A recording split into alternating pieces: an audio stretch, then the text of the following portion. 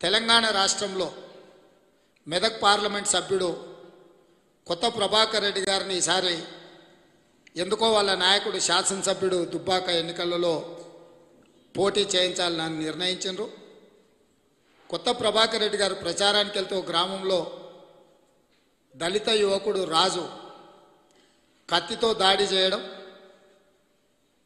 ప్రభాకర్ రెడ్డి గారికి గాయమవ్వడం హుటాహుటిన ప్రభాకర్ రెడ్డి గారిని ఆసుపత్రికి తరలించడం గాయపడ్డ ప్రభాకర్ రెడ్డి గారి కంటే ముందే మంత్రి హరీష్ రావు గారు అక్కడికి వచ్చి గాయమైన ప్రభాకర్ రెడ్డి గారు నడుస్తుంటే హరీష్ రావు గారు మాత్రం కింద మీద పడి పరిగెత్తి తనకే గాయమైతే స్ట్రెచర్ మీద మోసుకపోయినట్టు ఆయాసపడి వారు పూర్తి స్థాయిలో సురభి నాటకాలను తలపించే విధంగా మంత్రి హరీష్ రావు గారు డ్రామాకు తెరలేపిండు. ఆ దాడి జరిగిన ఎంబడే ముఖ్యమంత్రి గారు కల్వకుంట్ల చంద్రశేఖరరావు గారు అధికారికంగా ఎక్కడ ఏ దాడి జరిగినా ఏ తీవ్రమైన సంఘటన జరిగినా మరుక్షణంలో ముఖ్యమంత్రి గారికి నిఘా అధికారులు నివేదిక ఇస్తారు మరి నిఘా అధికారులు ఏం నివేదిక ఇచ్చిండ్రో కానీ కొత్త ప్రభాకర్ రెడ్డి గారి మీద కాంగ్రెస్ పార్టీ దాడి చేసింది. ఒక నేరగాడిని పిసిసి అధ్యక్షుడిగా చేస్తే ఈ విధమైన దాడులు జరుగుతాయని రాష్ట్ర ముఖ్యమంత్రి కల్వకుంట్ల చంద్రశేఖరరావు గారు అధికారికంగా ప్రకటన చేసిండ్రు. వారు అన్నదే తడువుగా హరీష్ రావు గారు డ్రామారావు గారు కవితారావు గారు కుటుంబం కుటుంబం అంతా ఈ పనంతా కాంగ్రెస్ పార్టీ దాడి. దీని వెనకాల నేర మనస్తత్వం ఉన్న పిసిసి అధ్యక్షుడే ప్రేరేపితమని చెప్పిండ్రు. సరిగ్గా నాలుగు రోజుల తర్వాత విచారణ అధికారులు ఆ జిల్లా ఎస్పీ గారు విచారణ చేసి శ్వేతారెడ్డి గారు ఒక పత్రికా ప్రకటన చేశారు. దాడి జరిగింది కుట్ర లేదు కాంగ్రెస్ లేదు. సెన్సేషన్ కోసమే రాజు అనే యువకుడు కొత్త ప్రభాకర్ రెడ్డి గారి మీద దాడి చేసిందని ఆ జిల్లా ఎస్పీ గారు ఇచ్చిన ప్రకటన.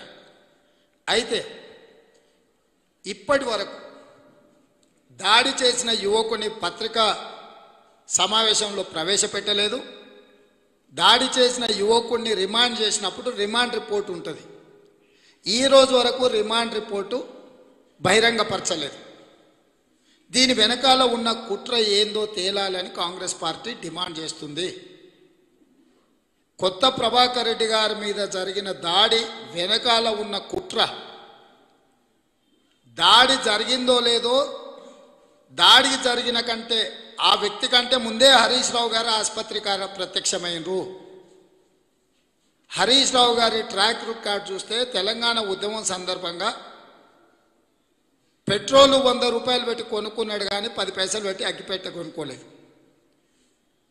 ఆయన నటనకు తెలంగాణ యువకులు భావోద్వేగానికి లోనై అదే రోజు రెండు మూడు గంటల వ్యవధిలోనే శ్రీకాంతాచారి పెట్రోల్ పోసుకొని ఎల్బీ నగర్లో చనిపోవడం జరిగింది.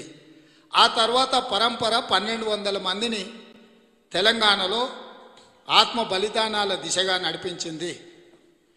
ఈరోజు ఈ కుట్రకు సంబంధించి మొదట కాంగ్రెస్ పార్టీ మీద ఆరోపణ చేసి కాంగ్రెస్ పార్టీ ప్రత్యక్షంగా టీఆర్ఎస్ నాయకుల మీద దాడి చేసిందని ముఖ్యమంత్రి గారు ప్రకటించి రాష్ట్ర మంత్రులు ప్రకటించి నాలుగు రోజుల తర్వాత విచారణ అధికారులు విచారణ వివరాలు బయట పెట్టకుండా ఏ వ్యక్తి అయితే దాడి చేసిండో ఆ వ్యక్తి రాజును మీడియా సమావేశంలో ప్రవేశపెట్టకుండా సెన్సేషన్ కోసమే అతను దాడి చేసిండని వారు ప్రకటన చేసిండ్రు. ఇప్పటి వరకు రాజును రిమాండ్ చేసిన రిమాండ్ రిపోర్ట్ ఎందుకు అధికారులు బహిరంగపరచలేదు ఈ రోజు వరకు? నేను మీడియా మిత్రులను అడుగుతున్నా మీ ఎవరి దగ్గరైనా రిమాండ్ రిపోర్ట్ ఉందా? రిమాండ్ రిపోర్ట్ లేకపోవడానికి కారణం ఏంది ఎందుకు బహిరంగపరచలేదు? ఆ రిమాండ్ రిపోర్ట్లో రాజు ఏం వాంగ్మూలం ఇచ్చిండు?